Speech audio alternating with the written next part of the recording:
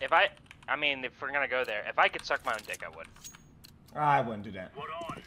Me neither. I've heard reports about this people saying um, it feels a lot more like sucking dick than getting sucked is what they said. So, Okay.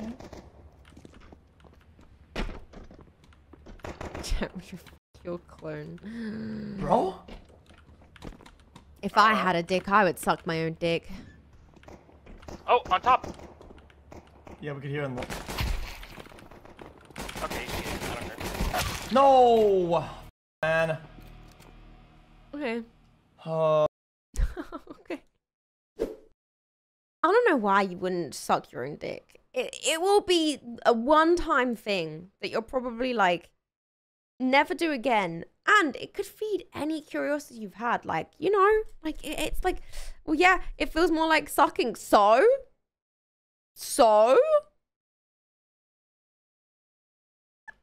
And? You will feel weird. It's your own dick.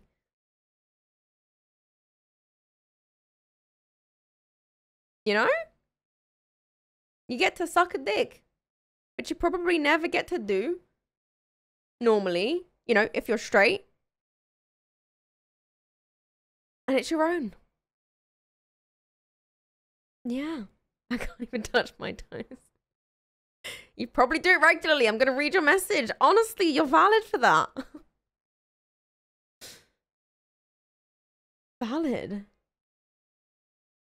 Yeah, every single time this conversation come up, have you thought some people don't want a dick in their mouth? It's your own fucking dick. Are you really that scared of yourself? Like it's honestly, it, it honestly, me, it's so crazy to me. like, are you really that scared of your your fucking dick? You probably tug it every other day. Like, what's the di- what, what, There's really not that much different.